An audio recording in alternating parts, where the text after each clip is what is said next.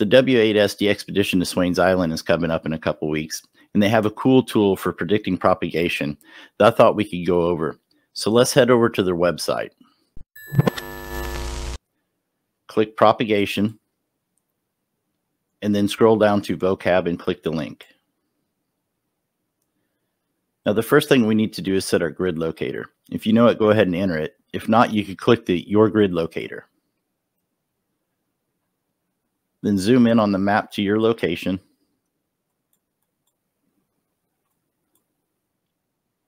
And once you hover over your location, you can see your grid locator up on the top.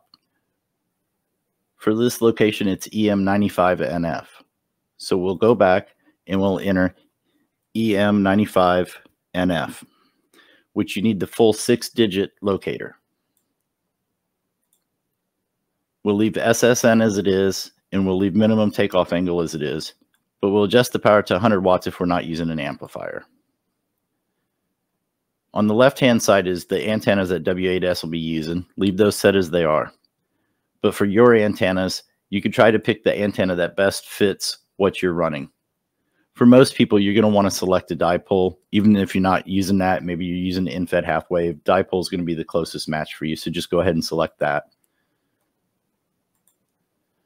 Now for the lower band, you might be running a quarter wave vertical, so you can select that.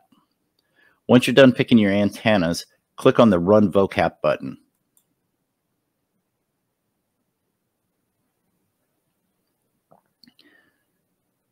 It's going to generate a bunch of charts, and we'll start going through these. So the first one I like, like to look at is the reliability. What the reliability is, is it is the percentage of days that the transmitted signal to noise ratio will exceed the signal to noise ratio required to make a contact. On the left-hand side of the chart is the percentage. On the bottom is the UTC time. What I like to do first is by clicking on, I can deselect the bands that I'm not running. So for this example, we're going to show just the 40, 20, and 15 meter bands. Now looking at this chart, we could see that we are at an 87% to 90% reliability between the times of 4 UTC and 9 UTC. So based on this chart only, we would say that 20 meter band is our best chance to make a contact between the hours of 4 and 9 UTC. But maybe there's a better band, so let's dig in a little deeper. So we'll scroll down to the 20 meter chart. The first thing I like to do is deselect the long path. So now we're left with just the short path predictions. If we look at the chart, on the left-hand side is the percentage which is used for the MUF and the reliability. You have your UTC hours on the bottom, and then on the right-hand side is your signal strength in S units. Now this chart is based for the whole month of October. So we can see that the blue line is the reliability. We have the 90% chance of receiving a signal between the hours of 4 and 9 UTC. So that is a pretty good time to try. If we look at the orange line, that is the MUF, which is the percentage of days that month that the signal will be below the maximum usable frequency. So it's a pretty good chance that we could get in below the MUF. If we look at the green line, that is our expected signal strength that we would be receiving. And we're between an S5 to an S6, closer to an S5.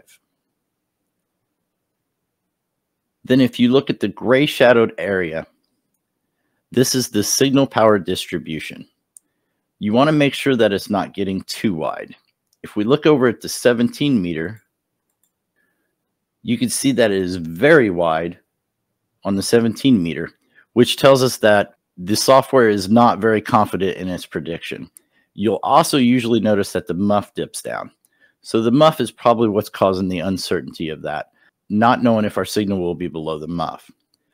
So we see that 20 meter, it's more confident that your signal will be below the MUF. And if you looked over at the 30 meter, it's pretty confident that it's going to be below the MUF.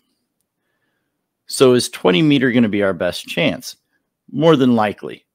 But if the MUF does happen to drop down that day and we can't get our signal out on 20 meter, our next best band based on our antenna situation would probably be the 40 meter band. So let's take a look at it. Once again, we'll deselect the long path, leaving us with only the short path predictions. We can see, as we would expect, we're well below the MUF. We have still a good 80% reliability, but in a little shorter of a time frame. I would say from 6 to about 11 or 12 UTC would be good. And we can see that the signal strength will still be around an S5. So if you can't make a contact on the 20 meter, maybe you want to try the 40 meter band. Both look good. So this is basics on how we read the VOACAP charts, and I hope it helps. If you have any questions, leave it in the comments below, and thanks for watching.